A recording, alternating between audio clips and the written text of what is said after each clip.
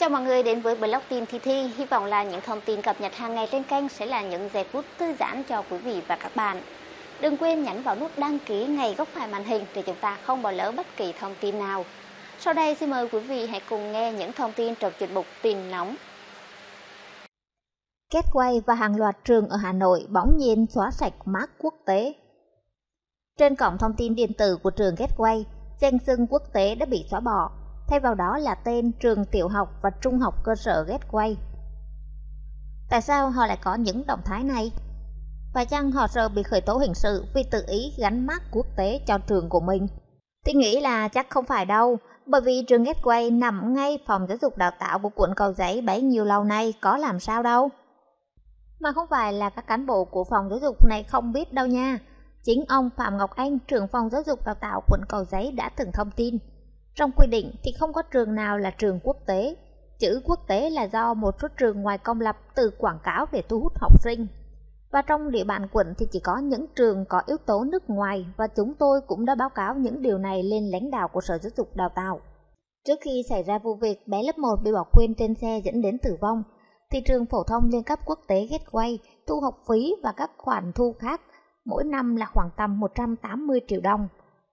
Hiện tại thì trên website của mình, trường đã đổi từ quốc tế thành trường tiểu học và trung học cơ sở. Tuy nhiên thì logo của trường thì vẫn để là Gateway International School. Văn giới thiệu của trường vẫn mang tinh thần là quốc tế. Gateway là hệ thống trường phổ thông liên cấp hàng đầu tại Việt Nam mang đến một nền giáo dục quốc tế đẳng cấp thế giới cho các thế hệ học sinh. Và đến trưa ngày hôm nay, thì phóng viên vẫn thấy là tại cổng trường Gateway thì vẫn được giữ tên cũ là Gateway International School.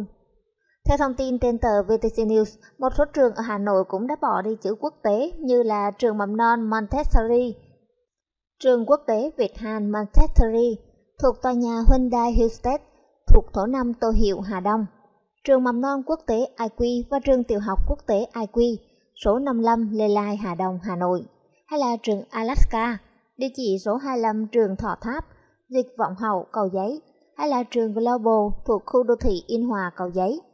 Ngoài ra thì xe đưa đón của trường phổ thông quốc tế Newton đổi tên thành trường phổ thông liên cấp Newton, trường mầm non quốc tế IQ và trường tiểu học quốc tế IQ thuộc địa chỉ số 55 Lê Lai Hà Đông, Hà Nội cũng mới gắn lại biển chỉ dẫn tên trường và bỏ hoàn toàn danh xưng quốc tế. Cách đây mấy ngày khi sự việc mới xảy ra thì trên tờ kiến thức có một bài viết là Gateway gắn mát trường quốc tế có thể bị khởi tố hình sự.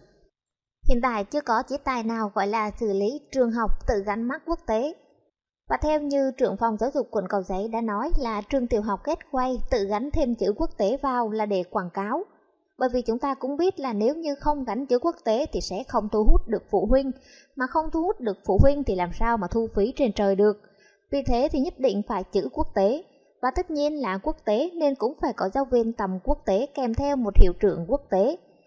Không danh xưng thì ai biết là ai, quả thật nếu như không xưng danh là trường quốc tế, phụ huynh làm sao biết được. Nếu đi khảo sát số lượng trường xung quanh có chữ quốc tế thì có lẽ ở Hà Nội không hề ít. Trong điều quyển luật giáo dục và các văn bản nghị định đều không có những quy định về trường quốc tế, nhưng lại không có văn bản cấm, cho nên việc các trường tự xưng tự tác với xưng danh quốc tế thì không có gì là lạ. Như vậy thì để xử phạt những ngôi trường tự ý gắn thêm chữ quốc tế này vào, thì sẽ bị xử phạt theo kiểu là quảng cáo rủi trá treo đầu dê bán thịt chó. Trao đổi về chế tài xử phạt cho dấu hiệu này thì luật sư Điệp Năng Bình đã trao đổi trên tờ kiến thức tại Điều 8 Luật Quảng cáo 2012 quy định những hành vi bị cấm trong hoạt động quảng cáo như sau. Quảng cáo không đúng hoặc là gây nhầm lẫn về khả năng kinh doanh, khả năng cung cấp sản phẩm, hàng hóa, dịch vụ của tổ chức, cá nhân kinh doanh sản phẩm hàng hóa dịch vụ về số lượng, chất lượng, giá cả, công cụ, kiểu dáng, bao bì, nhãn hiệu xuất xứ, chủng loại, phương thức phục vụ, thời hạn bảo hành của sản phẩm, hàng hóa dịch vụ đã đăng ký hoặc đã được công bố. Như vậy thì với những quy định trên, nhà trường đã có hành vi quảng cáo không đúng sự thật, ghi tên trường không đúng với giấy đăng ký.